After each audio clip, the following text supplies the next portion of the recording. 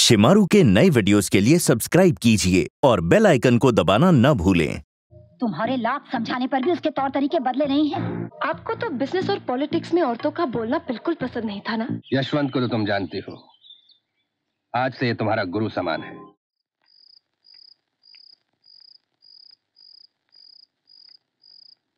अरे मैं तुम्हें बेडरूम में ढूंढ रहा हूँ तुम यहाँ खड़े हो? आओ। क्या हुआ? विवेक क्या मैं तुम्हारे फैमिली बिज़नेस का भी हिस्सा नहीं बन सकती? आ, बाबा की बात का बुरा मान गई। बात ऐसी नहीं है अनु। तो फिर कैसी बात है? तुमने पहले कहा कि माँ और बाबा को मेरा नौकरी करना पसंद नहीं है। तो मैंने छोड़ दी। Come on Anu come on Anu. Just try to understand ये देखो बाबा को पॉलिटिक्स और बिज़नेस में औरतों का बोलना बिल्कुल पसंद है। मेरा मतलब है जस्ट ट्राई टू अंडरस्टैंड हाँ दोनों पुराने ख्यालात के हैं वक्त के साथ बदल जाएँगे। तुम मुझे शादी के पहले एक रूल बुक दे देते कि शादी के बाद अनु तुम्हें ये करना है और ये नहीं करना है। अब मैं घर बैठे बैठे क्या करूँ? मुझे समझ में नहीं आ रहा। Go out see film meet friends घर के काम में इंटरेस्ट ले लो। क्यों? Come on cheer up i'm waiting for you in the bedroom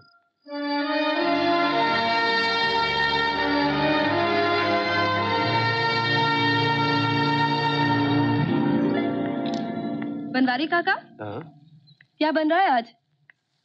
palak paneer बना रहे पालक पनीर? हाँ, लाइए। आज मैं आपको एक डिश बनाकर खिलाती हूँ। हम्म? लाइए मुझे दीजिए दीजिए। बहू जी। अरे दीजिए ना बनवारी काका। थोड़ा कोतमीर और टमाटर दीजिए वहाँ हाँ, से। हाँ। अनुराधा? जी मेरे ख्याल से हमारे घर में काफ़ी नौकर चाकर हैं। चौहान खानदान की बहू की जगह किचन में नहीं है। माँ जी, कल जब ड्राइंग रूम में मैं सामान इधर से उधर रख रही थी, तब आप ही ने मुझसे कहा था कि ये घर चालीस साल से ऐसा है और ऐसा ही रहेगा। और अब मुझे तो लगता है कि चौहान खानदान की औरतों की जगह ना तो ड्राइंग रूम में है और ना ही किचन में है। तो सिर्फ़ अपने पतियों के बिस्तर में है।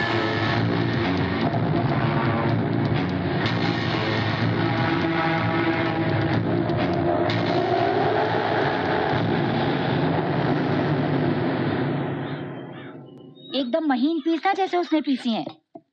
वो उठाओ वो भी उठाओ। अनुराधा?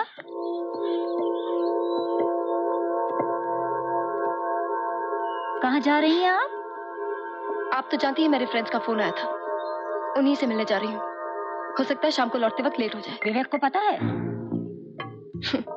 ऑफ़िस में फ़ोन किया था। वहाँ तो वो रहता नहीं। उसका फ़ोन आए तो कह दीजिएगा कि मैं नीलू के घर पे हूँ।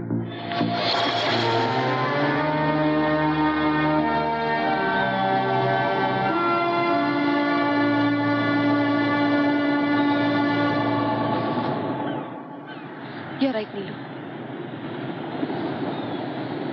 जो चीज़ें दूर से चमकती हैं पास आने पर उनकी चमक फीकी पड़ जाती है। पहले आप अपनी किस्मत पर भरोसा करके किसी एक इंसान से शादी करो। फिर उसके घर के कायदे कानून के हिसाब से एक नई ज़िंदगी जियो। और अगर वो भी काफ़ी न हो तो अपने पति की सारी बुराइयों को नजरअंदाज करो। और एक दिन पता चलता है कि आप अपनी पहचान खो चुके हैं। Lost your identity. अनु, मैंने तुम्हें जितना भी जाना है ना, तुमने ज़िंदगी में हर मुश्किल का सामना डट के किया है। और मुझे पूरा विश्वास है कि आगे भी यही करती रहोगी। इत्मीनान रखो ना बेब्स जस्ट हैव पेशेंस ना। Patience.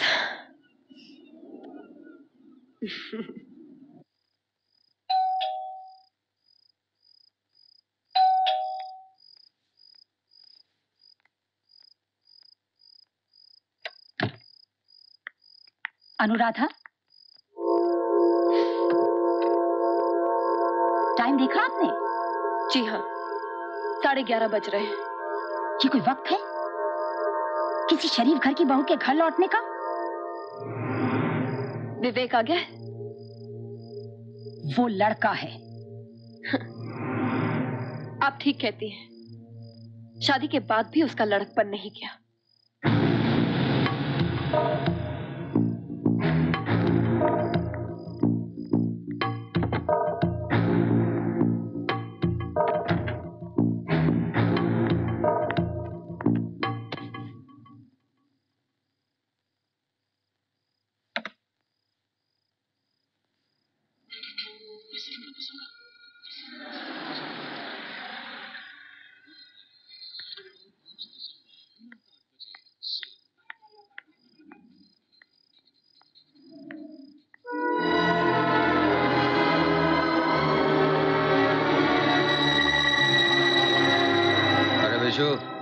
इन दोनों को घर तक ध्यान से छोड़ के आना। क्या?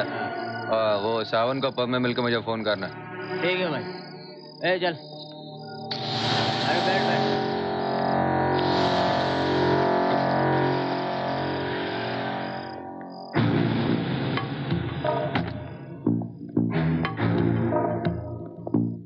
क्या हुआ? आप दोनों अभी तक सोए नहीं? अरे जिस घर की बहू रात साढ़े ग्यारह बजे लौटेगी वहाँ माँ बाप को नींद आएगी क्या? तुम्हारे लाख समझाने पर भी उसके तौर तरीके बदले नहीं है। पोशाक देखो जो पहनती है आजकल। अरे मैं कहती हूँ सख्ती से काम लो वरना पानी सर की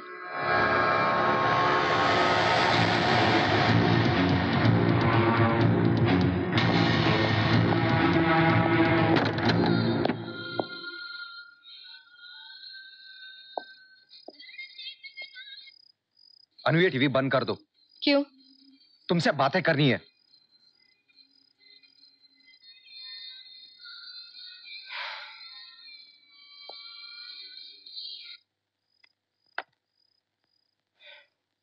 बोलो।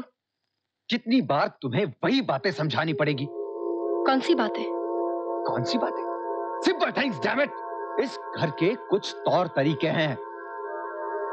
कितनी बार हम लोगों ने तुम्हें समझाया लेकिन तुम पर कोई असर ही नहीं पड़ता। आखिर तुम चाहती क्या हो? कुछ नहीं। कुछ नहीं तो अपने आप को बदलती क्यों नहीं? Change yourself, damn it?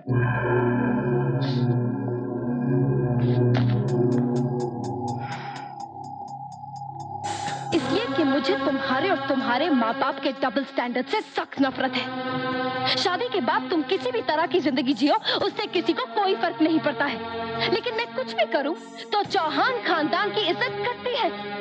अगर इज़्ज़त ही बनानी थी ना विवेक तो ऐसी लड़की को घर ले आते जिसका पति रोज शराब पीकर बाहर किसी और के साथ सोकर घर आए। और वो उससे ये पूछने के बजाय कि वो कहाँ था, उसके पैर दबाती है। तुम्हारी माँ की तरह।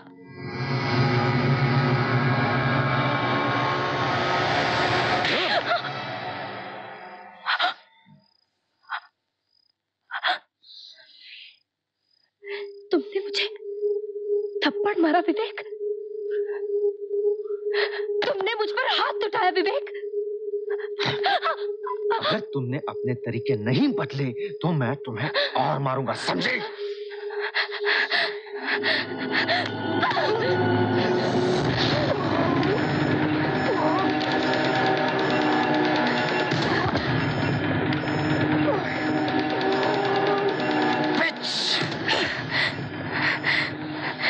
मैं उन लड़कियों में से नहीं हूँ विवेक। जो पति का थप्पड़ खाकर किचन में जाकर रोती है। याद रखना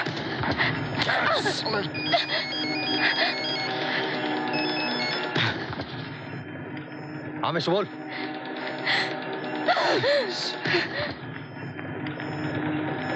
हाँ सावन को रोक के रखना, मैं वहीं पहुँच रहा हूँ मैं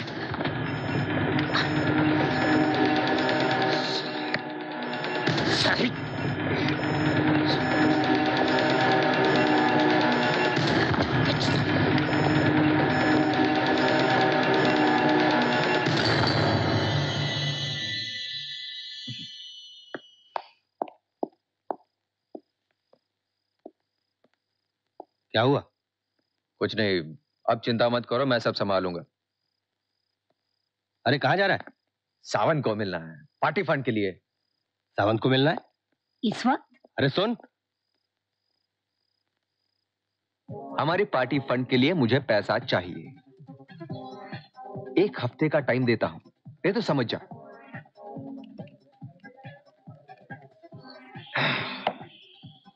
वैसे भी तुम लोगों को हमारी ज़रूरत पड़ती ही रहती है। है ना? मगर चल विशु सावन ने अगर पैसा नहीं दिया तो उसके सारे के हैं? सारे टेंडर्स कैंसिल कर दो। चल दारू पीते सॉरी सर बार बंद हो चुका है। वी आर क्लोज्ड क्या रे? जानता नहीं तू इसको कौन है ये है? पॉलिटिशियन का लड़का है विवेक चौहान नाम है इसका। कहता क्या है? बाहर बंद हो गया। चल हट यहाँ से। लेकिन सर सर।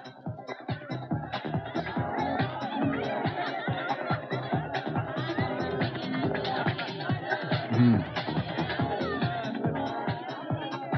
ए, रोहित दो whisky excuse me sir bar बंद हो चुका है।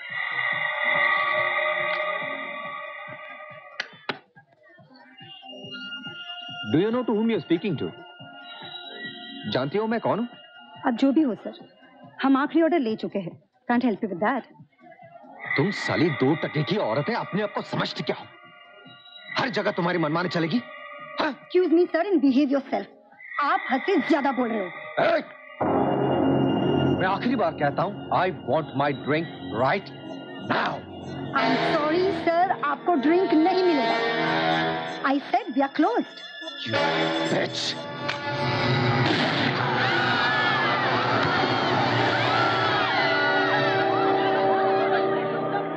अरे भाई ये क्या कर दिया तूने? पता नहीं यार कहाँ का गुस्सा मैंने कहाँ निकाल दिया। चल यहाँ से चल चल भाग चल चल भाग विश्व। भाग विश्व भाग। तेरह नंबर में लड़के बिड़के होंगे ना पकड़ के अंदर डालना सीधा।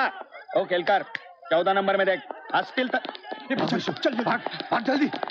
भाग। अरे भाग जा अरे छोड़ अरे। ए साले कौन है तो इंस्पेक्टर उद्धव पवार टच साला छोड़ तुम्हारा दिमाग तो ठीक है राणे। तुम्हें पता है तुमने किसके बेटे को अंदर कर रखा है? चौहान साहब मैं क्या कर सकता था? वो पवार ने अरेस्ट किया है। अब पंचनामे में 25 विटनेस के सिग्नेचर्स हैं। एक लड़की का खून हुआ है और ये ऊपर से साला पवार बिकाऊ नहीं है। फ़िलहाल तो कुछ नहीं हो सकता। अब ये कोर्ट का मामला है। पंडित। जी। वकील को फ़ोन लगाओ। बोलो जमाने की तैयारी करें। अभी करता हूँ। लेकिन सर मैं मैं आपको बताता हूँ कि ये तुम ये बताओ विटनेस पे किस किसने दस्तखत किए हैं?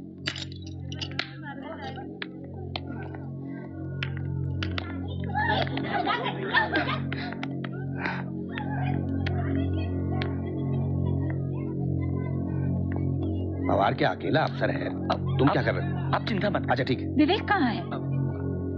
आइए। अच्छा तो ऐसा बोलता मेरा भाई अच्छा को मेरा। मरेगा एक काम कर लो।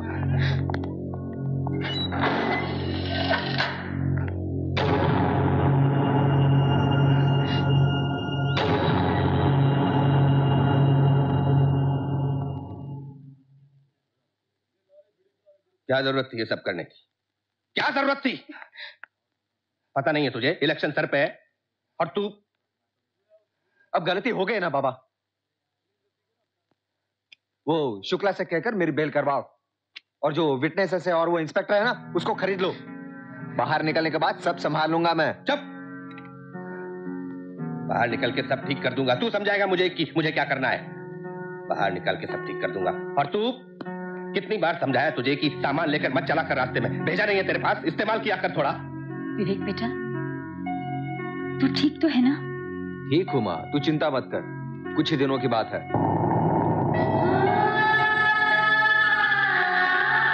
इसके चेहरे का रंग क्यों उतरा हुआ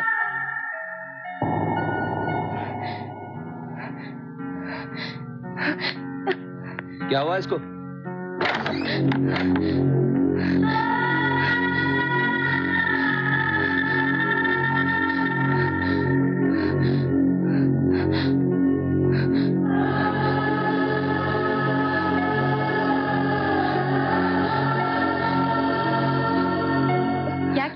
मर्द ने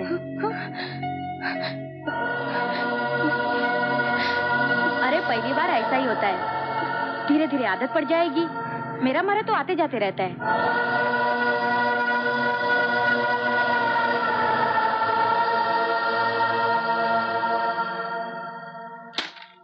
वैद जेल में महेंद्र चौहान का पिल्ला है। अब देखते हैं क्या करता है वो। मलाम, आज़ाद नगर दुल्हन की तरह सजा है। दूल्हा बनने के लिए तैयार हो जाओ।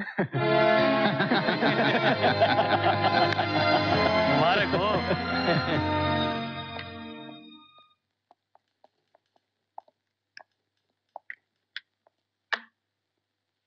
जादव! जी साहब एक कटिंग बोल। ठीक है साहब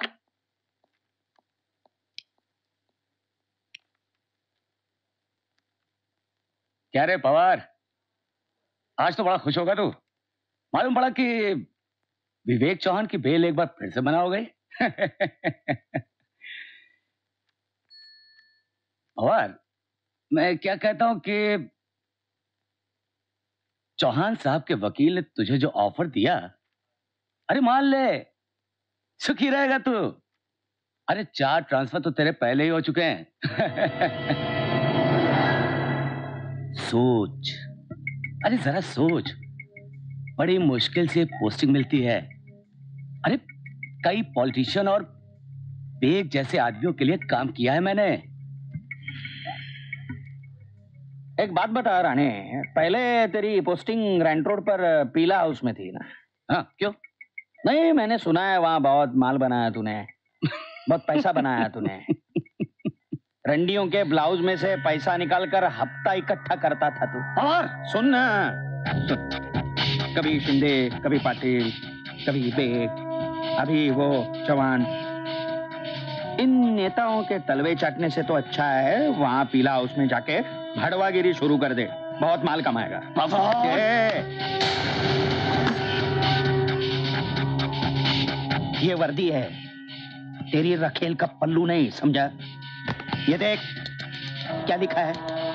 पढ़ना जानता? है सदरक्षण आय खल निग्रहण आय पर मतलब मतलब जब तक मैं विवेक को सजा नहीं दिलवाता, तब तक फ़ाइल बंद नहीं करूँगा, समझा?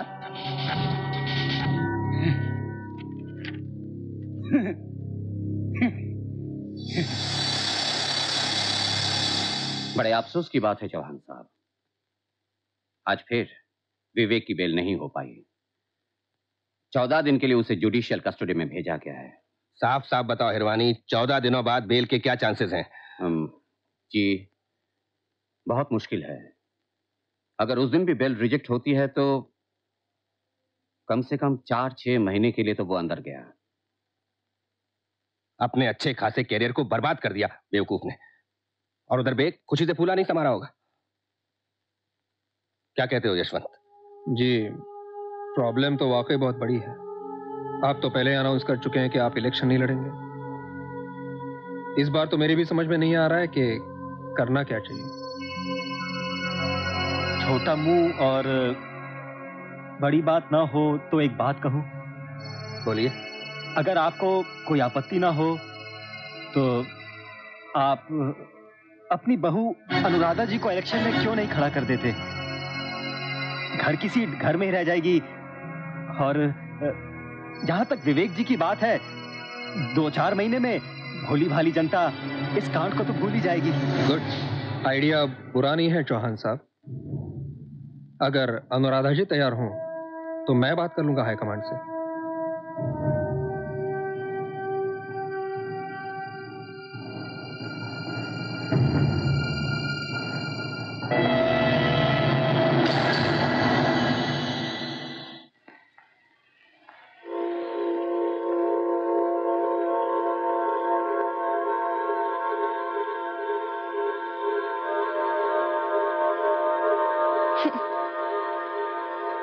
सिर्फ़ सुना था कि इंसान भी कभी कभी क्रिकेट की तरह रंग बदलते हैं।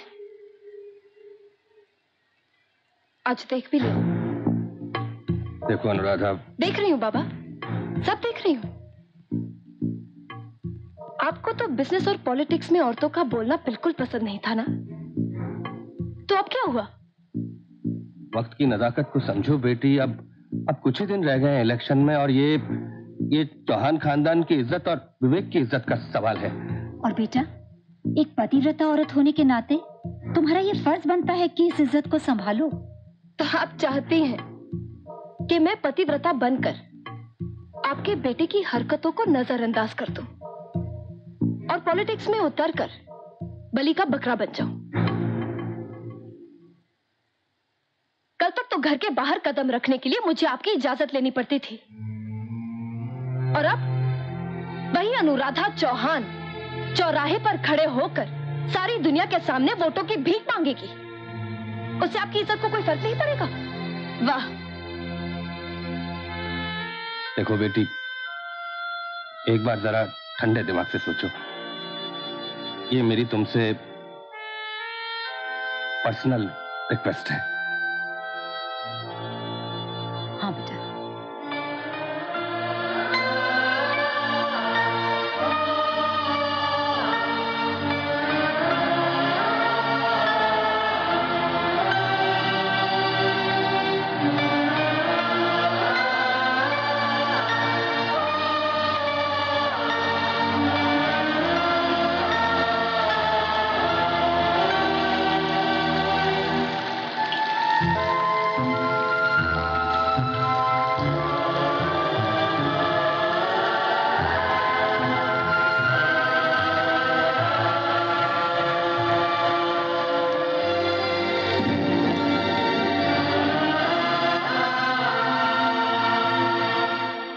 अपने सेल्फिश इंटरेस्ट के लिए। क्या क्या करते हैं? उनके लिए कितना आसान था कहना। Politics is not my cup of tea मुझे कुछ समझ में नहीं आ रहा मैं क्या करूँ। एक बात बताओ अनु, तुम ही तो कहती थी ना कि तुम भूल चुकी हो कि तुम्हारा वजूद क्या है, तुम्हारी पहचान क्या है। तुम ही तो कहती थी कि इस घर में तुम्हारा दम घुटता है। हो सकता है कि यही एक मौका हो खुली हवा में घूमने का, अपनी पहचान पाने का। देखो बेटा अप्स एंड डाउन्स तो हर एक की ज़िंदगी में आते रहते हैं। लेकिन जानती हो, भगवान ने इंसान को सबसे बड़ी चीज़ क्या दी है? मौका। मौका एक ज़िंदगी जीने का। कुछ कर दिखाने का। बेटा I think you should give it a try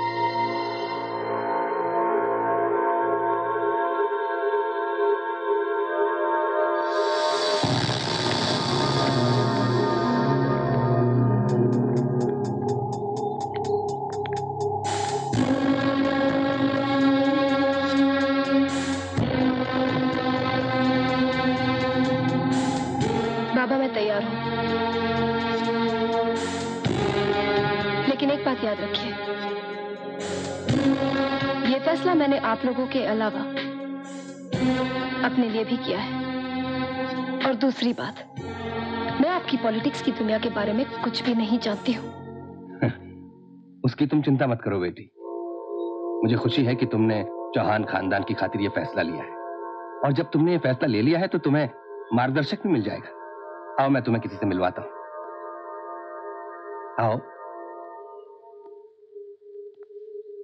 planning commission और एक्सपेंडिचर रिपोर्ट चाहे जो भी कहें यहाँ काम तो हमें करना पड़ता है ना शुक्ला जी? हाँ ये तो है मैं, मैं आपको बाद में फ़ोन करता हूँ। यशवंत को तो तुम जानती हो। आज से ये तुम्हारा गुरु समान है। देखो बेटी अगर राजनीति में ज़िंदगी भर सर उठाकर चलना है तो पहले कुछ कदम झुककर चलने होंगे। यही नियम है राजनीति का। यशवंत जी। आज से अनुराधा तुम्हारी ज़िम्मेदारी है।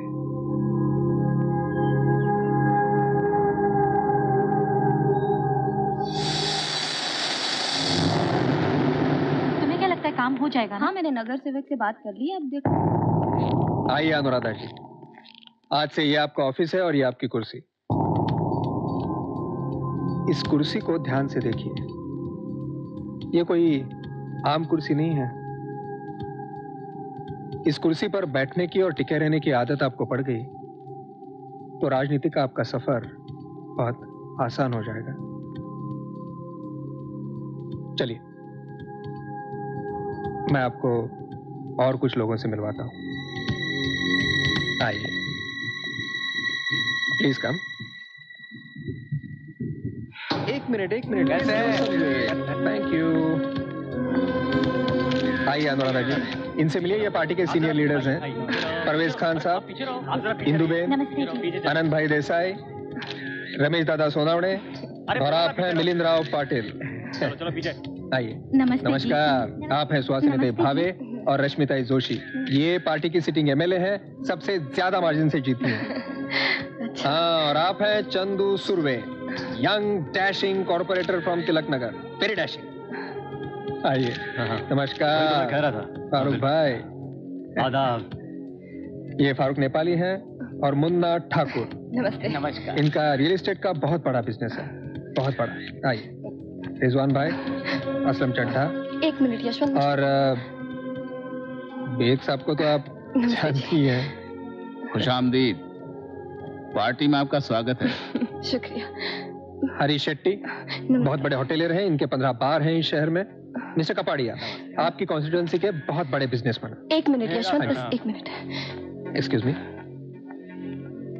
ये जिन लोगों से तुमने मुझे मिलवाया है हमारे पार्टी के एमएलए और कॉर्पोरेटर्स इनके बारे में तो समझ में आता है। लेकिन ये शाहरुख कपाड़िया जैसे बिजनेसमैन और फारूक नेपाली और मुन्ना ठाकुर जैसे गुंडे आए दिन अपने घपले और हत्याओं की वजह से अखबारों की सुर्खियों में रहते हैं। इनका हमारी पार्टी से क्या लेना देना? अनुराधा जी, सत्ता हासिल करने के लिए और चलाने के लिए तीन चीज़ों का होना बहुत ज़रूरी होता है। पैसा, जो हमें बिजनेसमैन देते हैं। ताकत, जो हमें फारूक और ठाकुर जैसे लोगों से मिलती है। और इन दोनों चीज़ों का सही इस्तेमाल करने के लिए चाहिए होता है दिमाग, जो हमारे पास है। You know what I mean आप समझ जाओगे। धीरे धीरे सब समझ जाओगे। यशवंत? जी। एक minute. Excuse me I am just coming कहिए बेग साहब। वेरी गुड पहले दिन ही कमाल कर दिया। अनुराधा चमन तुम आगे बढ़ो। अनुराधा चमन तुम आगे बढ़ो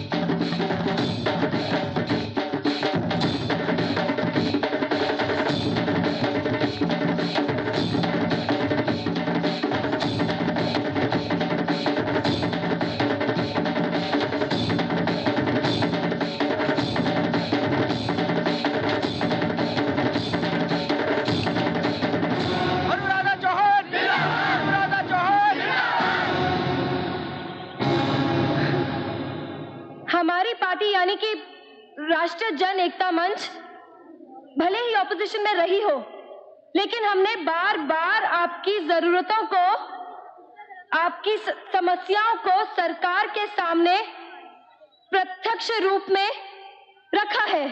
खूबसूरत है पर बेचारे का मर्द तो जेल में है। श्री महेंद्र चौहान ने पिछले चार साल में जो काम किया है वो आपके सामने तो है ही। मैं उनकी बहू तो हूँ लेकिन उसके अलावा एक क्वालिफाइड प्रोफेशनल भी। इस औरत में दम नहीं है बिड़ू। विवेक वाली बात नहीं है इसमें। और आपकी समस्याओं को समझकर आज़ाद नगर को रहने के लिए एक बेहतर जगह बना सकती हूँ। मुझे आपका समर्थन चाहिए। उसकी पूरी उम्मीद रखती हूँ। क्या बोलता मोहनलाल? दम नहीं यार। पका रहे लिए। मैं तो चला संडास। हटना बाबा। धन्यवाद। सियासत की नई नई दुल्हन है धीरे धीरे सीख जाएगी। धन्यवाद।